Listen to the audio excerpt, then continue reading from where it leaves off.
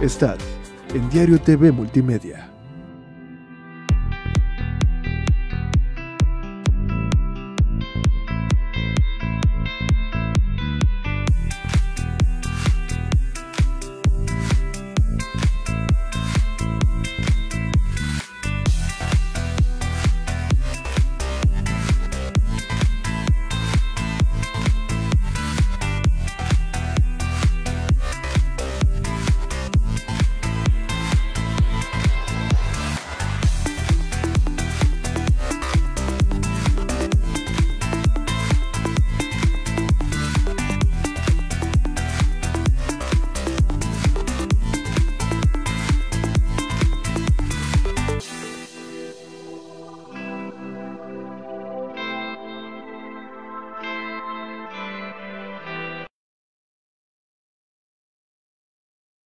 Saluda Itzel Grajales desde la Torre Digital de Diario de Chiapas.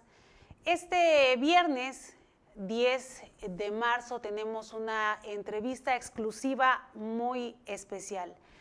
Eh, tengo el gusto de darle la bienvenida a Rigoberto Moreno, Moreno Gómez. Él es eh, abuelo del niño Damián. Recordemos, Damián era un niño de tres años, un niño que falleció que murió en la guardería Pigwin and Babe el pasado 7 de febrero aquí en Tuxtla Gutiérrez. Y bueno, a un mes de este homicidio, a un mes de esta tragedia, todavía no hay acceso a la justicia. Bienvenido, don Rigoberto.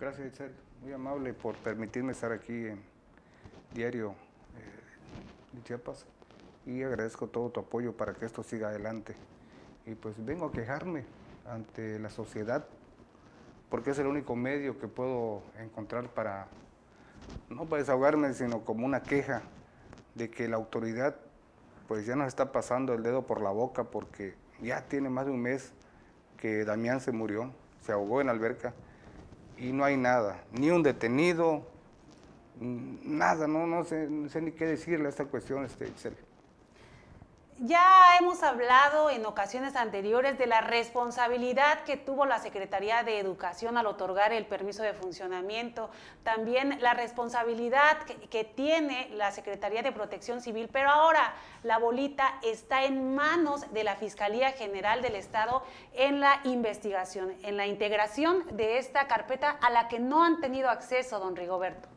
No hemos tenido acceso, únicamente nos la enseñan y nos la sustraen, no nos han querido dar copia de todo lo actuado para nosotros poder ver por dónde entrarle con mis abogados o con las personas que nos quieren apoyar, porque hay muchos abogados que nos quieren apoyar, se han ofrecido sin cobrar absolutamente nada y aunque así cobraran queremos echarle para adelante en esto, pero no nos han dado la carpeta todavía, no nos facilitan nada en ese aspecto. ¿Qué les dicen en la fiscalía, don Rigoberto, cuando ustedes llegan, tocan la puerta y piden esta carpeta? ¿Qué les dicen del por qué todavía, a más de un mes de lo ocurrido, no hay un solo detenido. ¿Qué les dicen? Que la próxima semana, que ya mañana, que ya judicializaron, que ya esperan armar bien el esquema para liberar las órdenes de aprehensión, pero ya tiene un mes y vamos para el segundo mes y esta cosa se está enfriando, la están dejando enfriar o la están dejando en el olvido o no sé qué pase, la verdad, cuál es la temática de Procuraduría para darle tanto espacio a esto. Hemos sabido de unos casos, por ejemplo, unos niñitos que no viene al caso mencionarlos, pero es la realidad que al papá en cuatro o cinco días ya lo estaban castigando. Son niños, igual es Damián, es un niñito, es algo prioritario.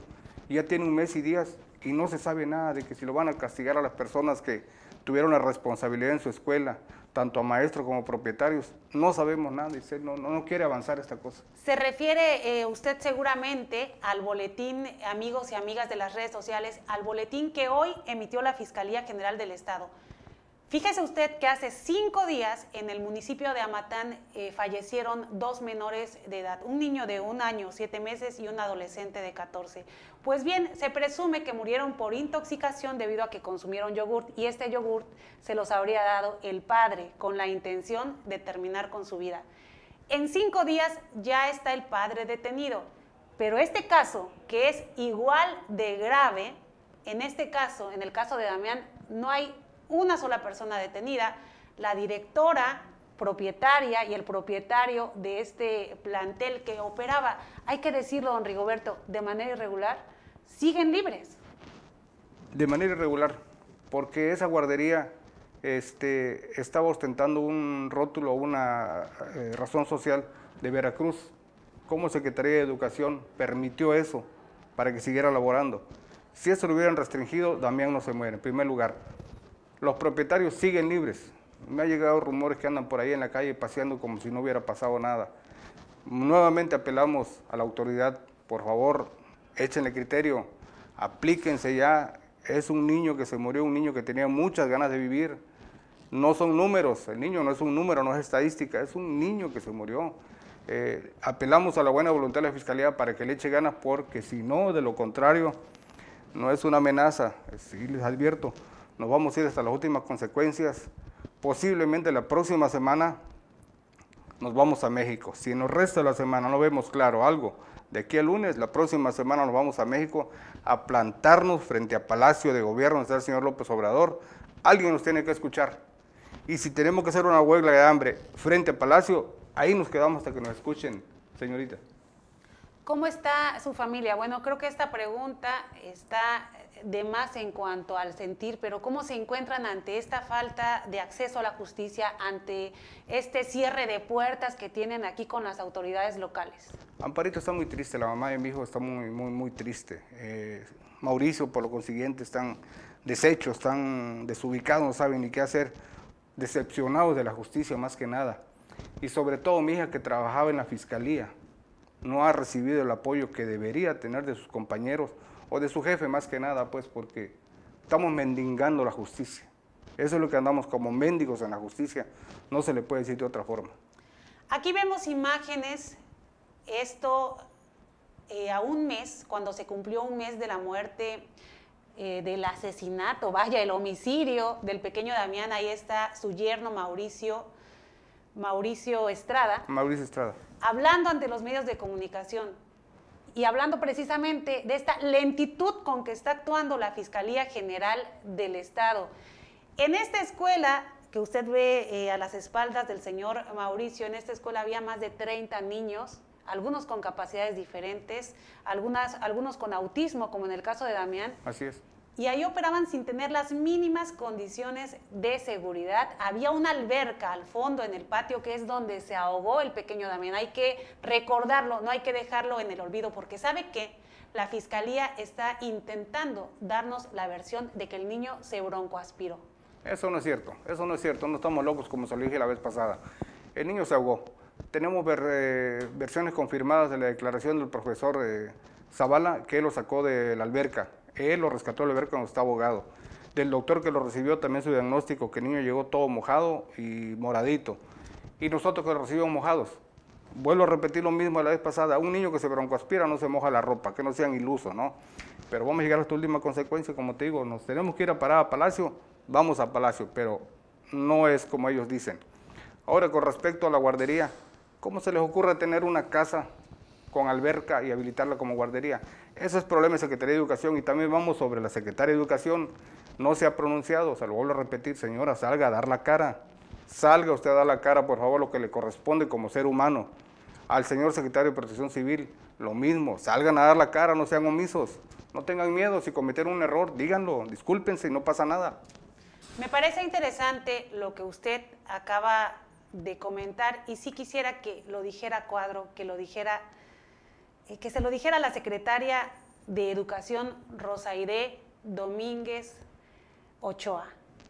Con mucho gusto. No ha dado la cara, eso es cierto. Señora. Como responsable de la Secretaría de Educación del Estado, no ha emitido ninguna postura ante este caso tan grave que podría ser el de muchas otras escuelas. Eh, señora, usted sabe que ha sido omisa en ese aspecto. Usted tiene una responsabilidad muy grande en la muerte de Damián.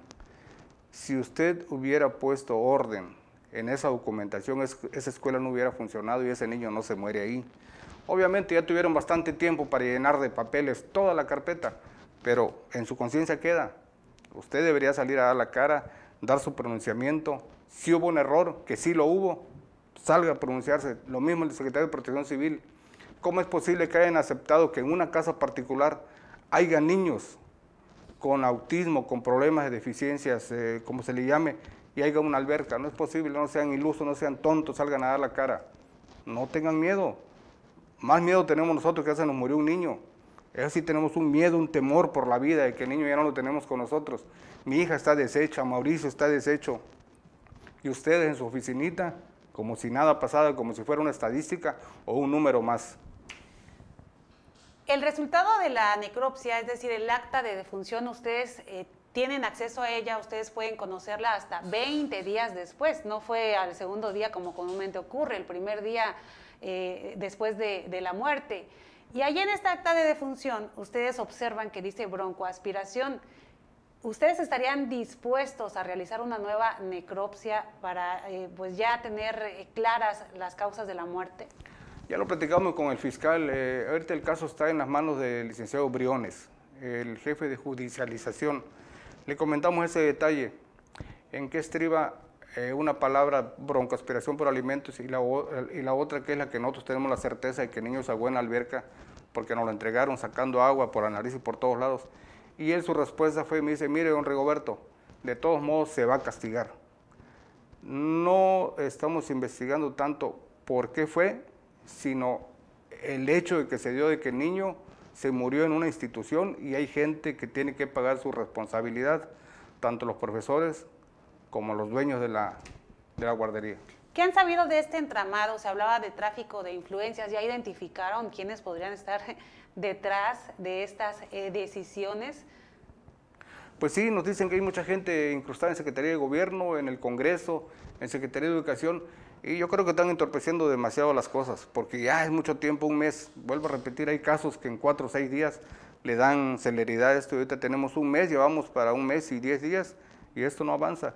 Yo les pediría, por favor, a los que están metiendo las manos, eh, a los diputados, si están metiendo las manos, no se metan, dejen que esto fluya, dejen que esto corra, no queden en mal con la sociedad, son representantes nuestros, no de personas sin escrúpulos, dejen que fluya la, la justicia, dejen que haya un castigo. Se los pido de favor a todo el que tenga inmiscuido en esto, a los compadritos, a los amigos, dejen lo que esto fluya. ¿Qué hay de cierto, don Rigoberto, que la hermana de Brunet, del Rocío Ortega Solís, quien es eh, la dueña de este colegio, trabaja en el Congreso.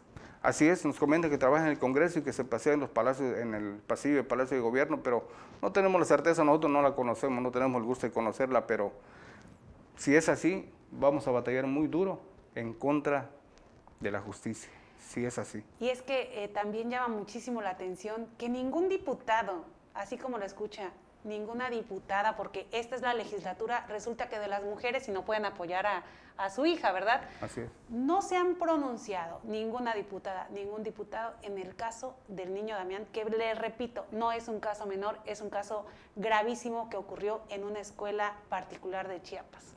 No se ha pronunciado nadie absolutamente, no sé qué les pasa, digo, son muy apáticos. Algo les está pasando o les mueve mucho eh, la cuestión económica, entre ellos se apoyan o no sé qué pasa, pero Esperamos la respuesta muy pronto de la autoridad, que ojalá ya en lo que resta de la semana, que ya es viernes, sábado, y esperamos hasta lunes, si no vamos a, movernos, como te comentaba yo, nos vamos a la Ciudad de México a pedir todo el apoyo, porque esto tiene que castigarse a los responsables. ¿Y la Fiscalía, señora, perdón, la Comisión Estatal de Derechos Humanos, ya, ya salió, ya eh, los Pues la que preside don Jorge. No, no, la Comisión Estatal, la, digamos, la institucional. No, para nada no nos ha llamado ni se nos ha acercado. Fraiba nos está apoyando tantito, pero son un poquito lentos también, Fraiba, va poco a poco, la de San Cristóbal. O sea que la que preside el señor recientemente ratificado, Juan José Cepeda Bermúdez. Para nada, para nada. Pues bien, don Rigoberto, eh, voy a estar muy pendiente en este medio de comunicación, también vamos a estar muy pendientes de cómo avancen, que espero que avancen las investigaciones en la Fiscalía General del Estado y también de estas eh, manifestaciones que ustedes ya están preparando. Sí, eh, si Dios quiere nos vamos a la próxima semana, que, ojalá no sea el caso porque este, confiamos en la autoridad de nuestro Estado, confiamos en el señor Olaf de que va a aplicar la ley aquí en Chiapas. ¿Cuál es el mensaje, si tenemos la oportunidad quizá de que este mensaje le llegue al presidente Andrés Manuel López Obrador, ¿qué, es lo que usted le diría? Señor presidente, eh, confiamos en usted, siempre hemos confiado en su buena voluntad y ojalá alguien nos esté escuchando y le hagan saber lo que pasó aquí en la guardería. Al niño lo descuidaron, les valió poco tener poco personal, como se dice, tres personas para cuidar treinta y tantos niños. Los dueños descuidaron por completo la guardería.